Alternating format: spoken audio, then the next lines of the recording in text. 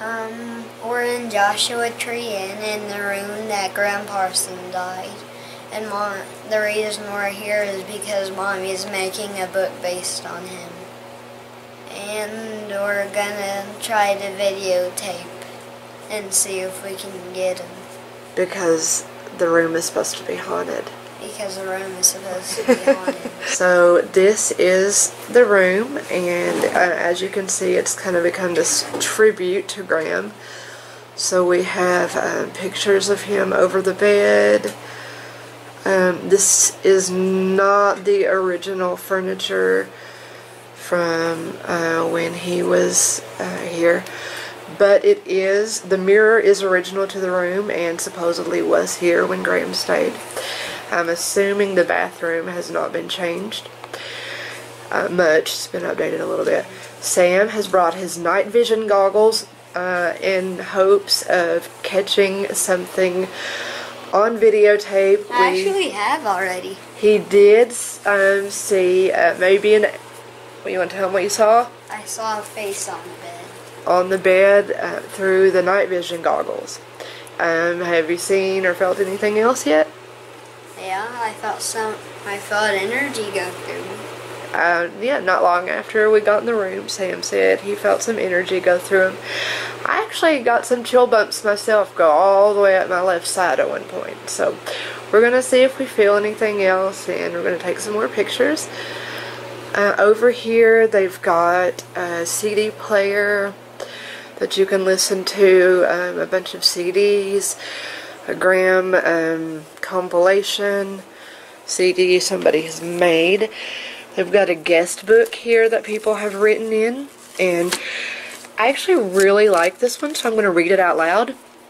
It says, Listen to Sin City and Hot Burrito Number One and other gems as the room glowed with Gram's amazing voice.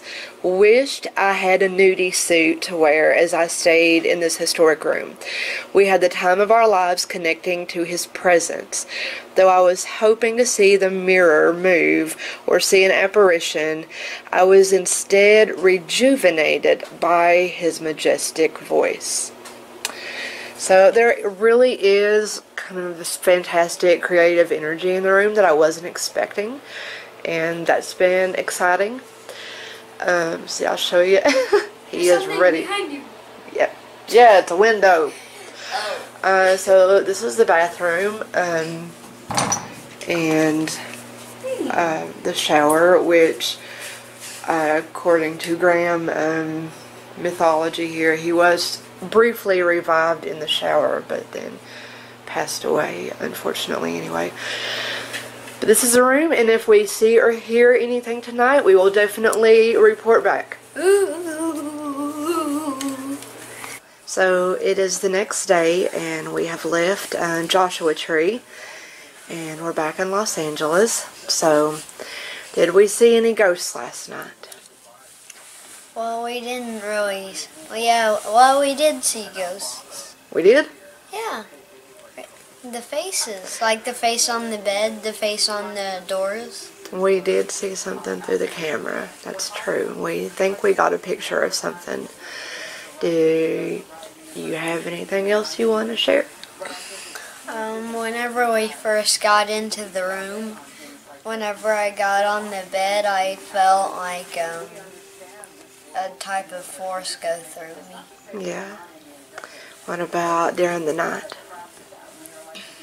Well, during the night, mommy heard a um, a woman's voice, not a man's, and it said hello.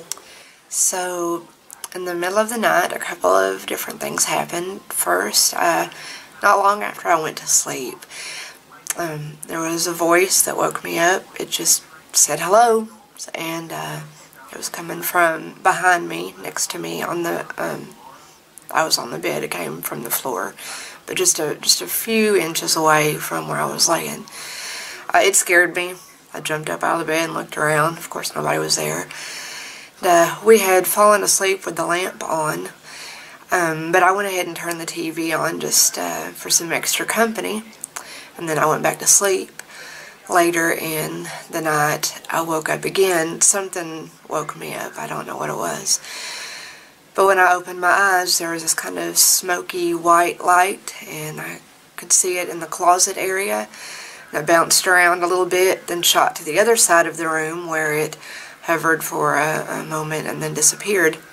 The reason I was able to see that light is because both the television and the lamp had gone out. And even though I'd fallen asleep with the remote between us, it had somehow moved and was on the nightstand. Uh, we took a couple of pictures and used the um, night uh, camera option, the zoom thing, know, night vision, there we go, I got it, and thought we saw some things in the room, but it was kind of hard to tell. At any rate, it was really interesting experience. Um, there's definitely something special about the area. We're a little disappointed that we didn't get to see or talk to a ghost, but I still feel like we picked up on something. So, overall, good experience. Would do it again.